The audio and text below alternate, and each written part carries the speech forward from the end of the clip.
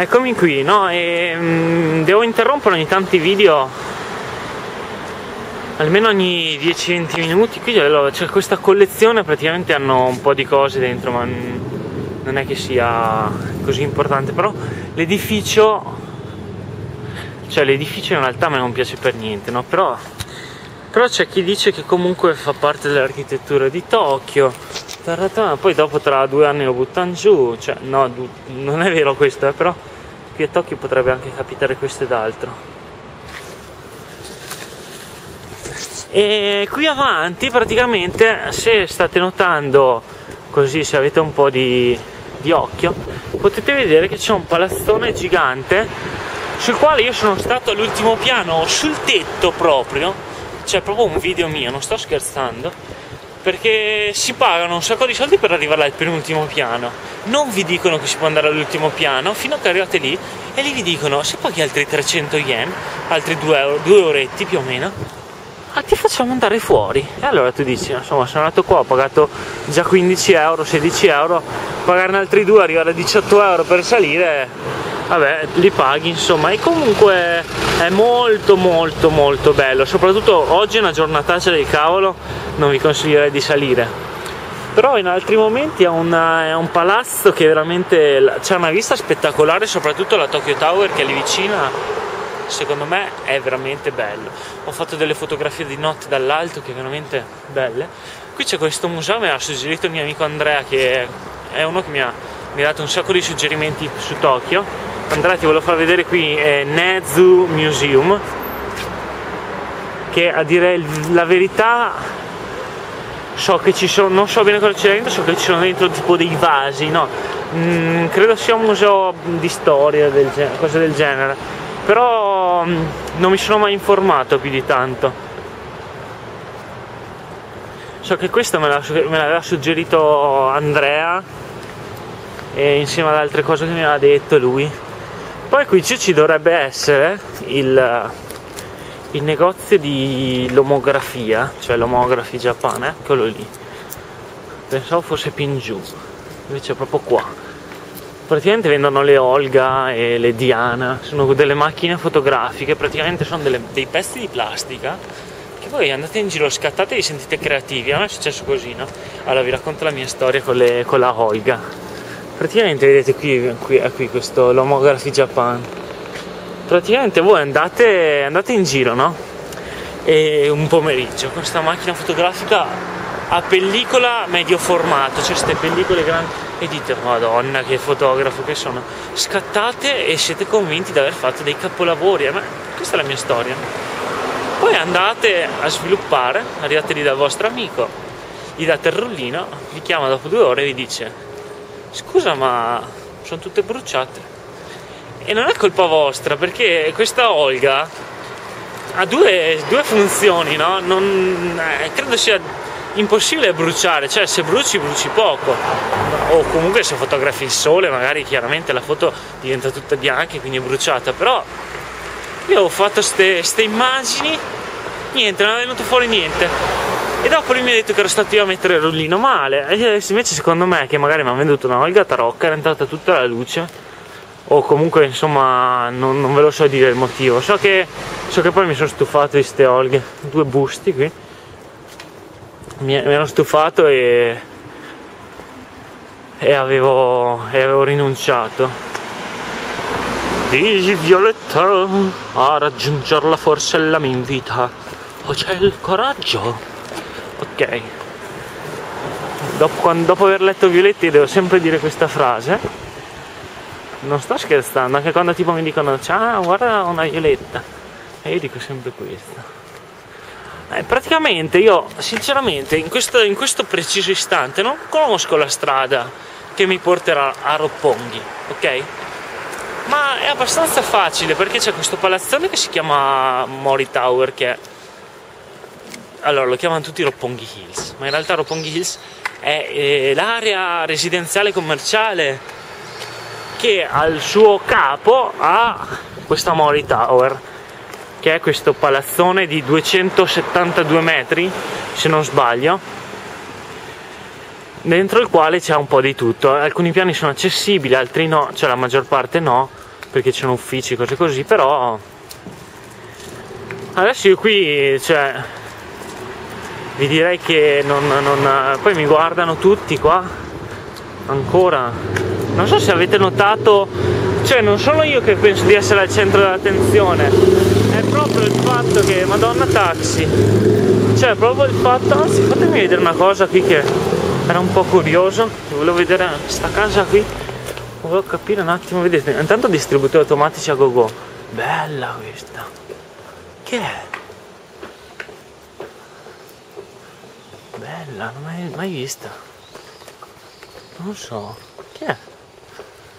C'è una ripresina qui? Queste riprese qui sono molto tattiche, poi mi serviranno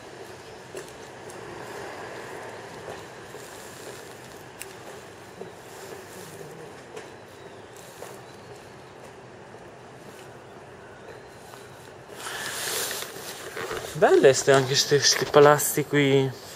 Palazzi, queste casette. Allora, torniamo a parlare di. di che? E stavo dicendo, no, dicevo, non, penso io di essere al centro dell'attenzione. Se avete notato, quando ho la telecamera in mano mi guardano tutti. Ok? Quando io non ho la telecamera non mi caga nessuno. E poi infatti eh, su, su questa cosa di, di, non, di, non, guardare le persone, cioè vabbè è anche brutto no, magari guardare gli altri, però io in Italia, soprattutto tipo, intanto vi faccio questo adesino, cioè magari in Italia vai in giro nella tua città, nel tuo paese, passa qualcuno, guardi, dici chi è quello, ma un mio amico, lo saluto, mi fermo. A Tokyo c'è la, la brutta abitudine, no brutta, cioè ognuno dopo si fa quei cavolo, quel cavolo che gli pare. Fammi vedere un attimino. Qua. No, niente. Procediamo sempre un po' di qua. Praticamente a Tokyo c'è questa brutta abitudine di, di non guardare, cioè quando. Allora, la gente di Tokyo è così.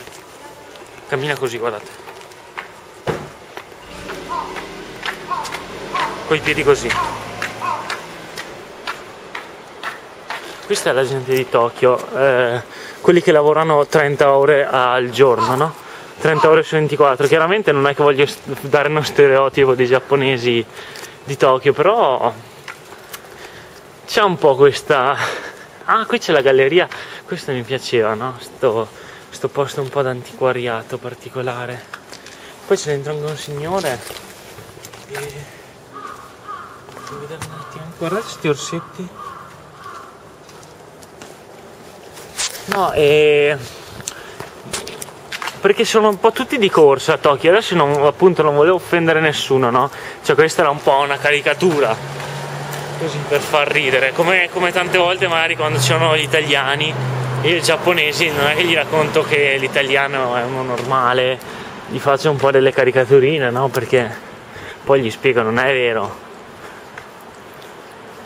E No, per esempio, no, de- cioè, per, farvi, per, darvi un'idea, c'era eh, Miyoko ieri che era in ospedale e insomma io sono stato lì 5 ore più o meno insomma queste infermiere oh, ogni mezz'ora e arrivano e prima al tè e poi sei caldo e poi ti portano la medicina cioè ogni mezz'ora allora l'ho detto ma anche durante la notte la sera sempre così io sì sì sempre più o meno ogni, ogni ora mezz'ora due ore così insomma arrivano allora gli ho detto, madonna, ma che palle, no? E allora mi fa, eh sì, abbastanza. Allora gli ho detto, guarda, in Italia da questo punto di vista è meglio perché non vengono mai. Se te sei lì che muori, non vengono, cioè cosa devono venire a fare? Muori. No, allora l'idea, poi le ho detto, guarda, non è così, era per ridere. Chiaramente lei lo sa che io dico cazzate così, tanto per spararle. Beh, intanto vi faccio vedere che qui sto procedendo verso Lopponghi. Cos'è sta roba? Cucina il ramo. Only reserved.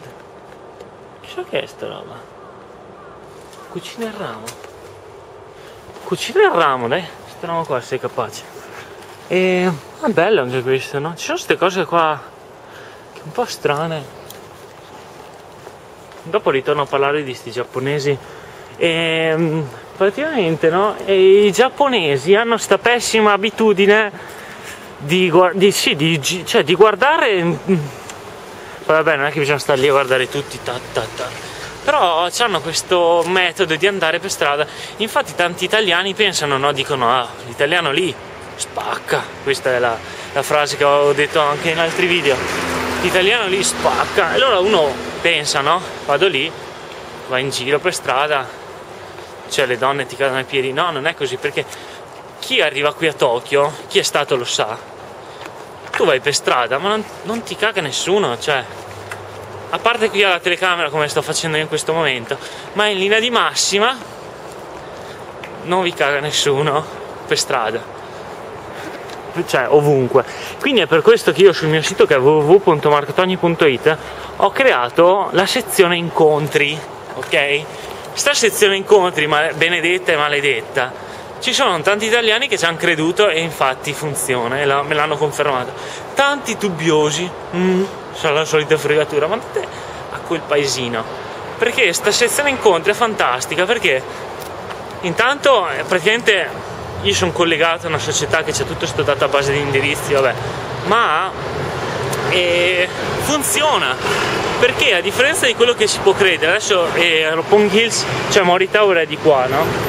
Vi volevo far vedere un attimino queste zone qui e dicevo sta, sta sezione incontri voi ci potete trovare le ragazze giapponesi che sono interessate effettivamente a conoscere gli stranieri perché qua la maggior parte delle persone di voi non interessa una cippa lippa ok? Qui sono Ropponghi no e insomma, uh, che faccio qua? Ah, caffè la Bohème. La Bohème è italiana, vabbè. Sì, vabbè, è italiana, però vabbè, il nome non era molto italianizzato, ma cantina. E... e praticamente eh, voi eh, se venite qui alla maggior parte delle persone di voi non interessa una cipalippa a meno che non, non prendete quel minimo di confidenza ma basta anche poco che poi da lì eh, scatta questo senso di ammirazione e curiosità per voi che venite comunque da un altro da, una, da un posto lontano no? poi tra l'altro è anche da sottolineare che il Giappone è un'isola quindi storicamente ma anche tuttora sono un sacco di persone che non, non sono mai state all'estero. E questo non, stare, non essere mai andati all'estero comunque incuriosisce un po' riguardo alle altre culture, è pur vero che qui in Giappone l'americano, l'America, l'americano no scusate, la, le cose americane sono arrivate. E molte cose sono, si può dire, importate, non so bene se, se può essere una cosa da dire, però tanto per dirvi, i negozi aperti 24 su 24 che ci sono anche in America, eh, anche gli stessi taxi, no? Cioè, eh, però vabbè, queste cose forse sono un po' banali. Comunque anche tanto cibo, le cose un po' americane sono state importate e, mm, e quindi ultimamente insomma il, il giapponese medio è abbastanza aperto internazionalmente, però chi viene dall'estero chiaramente suscita un po' di curiosità, non è come magari in Italia arriva uno, un cinese, cinese ho detto proprio, perché ne arrivano tanti, insomma non è come il giapponese che magari ci sono di meno, arriva un cinese e uno dice cacchio me ne frega di sto qua, vado a mangiare gli involtini di primavera ma non gli chiedo magari la sua storia, come mai è qui, no? E, e niente, eh, allora se voi arrivate qui appena iniziate magari a trovare quel minimo di confidenza poi scatta quella molla che così tac e poi inizia tutto. Però di base mh, mm, di voi non interessa a nessuno. Ok? Se invece andate su appunto sta sezione incontri che ho fatto sul mio sito www.marcotogni.it lì il metodo funziona perché trovate sempre persone, ragazzi e ragazze che sono, sono, si sono iscritti per i vari motivi, poi ognuno ha dentro nel, nel profilo il motivo. C'è chi magari si è iscritto perché vuole fare conversazione, chi vuole conoscerli, chi vuole trovare il fidanzato, la fidanzata e così via. Ok? Ok? Ok? e insomma ah, questo, questa sopraelevata è una cosa classica qui di Roppongi no? Tra l'altro. Insomma mi sembra di aver detto un po' come funziona. Poi adesso ci sarebbero magari vi viene in mente qualche qualche cosa da dire no? eh ma non è vero perché sì dopo ognuno ha la sua. Però di base chiunque sia stato in Giappone può confermare che andando per strada è un po' non è facile conoscere una persona, è che fermi e dici ciao come va? Perché a meno che non parlate giapponese, se parlate giapponese, bene, benino, c'è un po' più di chance anche per fare amicizia con qualcuno, però comunque in generale sono abbastanza schivi come in Italia, non è che andate lì a Milano, fermate il primo che passa e iniziate a parlare, no? Non è così. Ah, quello è un murales, ma pensavo lo togliessero dopo Capodanno, invece è rimasto. C'è un, non so se è un murales, forse è semplicemente una pubblicità attaccata. So che lì c'è una pubblicità per Capodanno, ma credevo fosse proprio una cosa che la poi la togliessero invece no facciamo un altro stop di video tra poco dai anzi lo faccio adesso. Ci arriviamo ancora in fondo dai che così riprendo anche un po' fiato e mi faccio venire qualche altra idea da, da proporvi da parlarne un pochino. Ok? Ciao a dopo. Ci vediamo guardate 400 metri eh. Che poi più avanti c'è Roppongi Hills, c'è il Rioli, ok, e ci sarà Roppongi Hills.